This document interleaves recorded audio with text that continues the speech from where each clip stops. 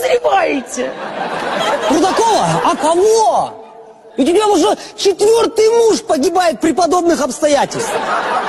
Да что вы врете? Ничего не подобным, они все разные. У меня первый муж вообще умер от отравления парами этого, этого, бы, ртути. Это мы помним, помним. Мы нашли вашего мужа с градусником в башке. Слушайте, я тоже самое сказала. Чего вы придираетесь к словам, честное слово? Вы знаете, какое у моего мужа зрение было? Минус 60. Он хотел себе температуру измерить, а попал в, бо в бошку свою тупую. А второй муж? Игнат? Слушайте, ну у кого-то слабое сердце, а у него слабый позвоночник. А третий ваш муж? Ну имейте ж какое-то уважение, а? ну совесть у вас есть. Андрюша умер старым, седым человеком. В 35 лет.